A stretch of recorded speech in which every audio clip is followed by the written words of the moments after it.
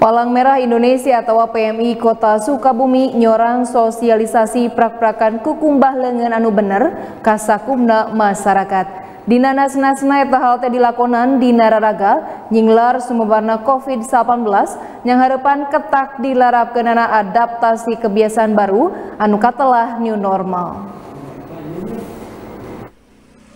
Mangpirang cara dilakonan kernyinglar semebarna virus COVID-19 di kota Sukabumi, Provinsi Jawa Barat. Di salah satu lingkungan anu gegek pangesina, anu pernah na di Kelurahan Sriwidari, Kecamatan Gunung Puyuh, PMI Kota Sukabumi ngokolakan simulasi praktek kukumbah lengan anu bener kasakumna masyarakat. PMI ngerong prak-prakan simulasi lebih efektif ke umaja ka masyarakat minangka wangun edukasi parobahan hirup anu lebih bersih turta sehat. Eta hal tadi lakonan yang harapan prak-prakan dilarapkeunana adaptasi kebiasaan baru atau AKB anu katelah new normal di kota Sukabumi.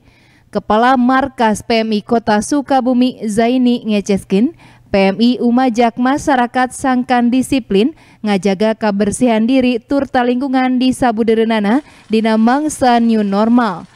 Pangnak itu kukumbah lengan satu tas ngalakonan kegiatan mampu nyinglar sumebarna COVID-19.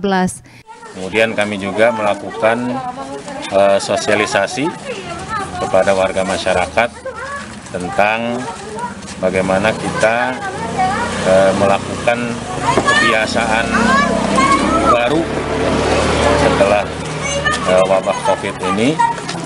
Di antaranya kami sudah menyiapkan ini alat-alat untuk praktek cuci tangan dengan benar. Lianti praktek kukumbah lengan, PMI Kota Sukabumi G ngokolaken prak-prakan nyemprotken cairan disinfektan di lingkungan imah warga.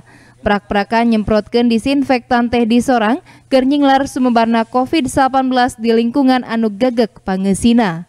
Budi Setiawan, Bandung TV.